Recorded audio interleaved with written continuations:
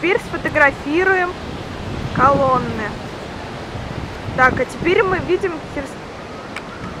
Херса... Херносес... херсонесского бомжа.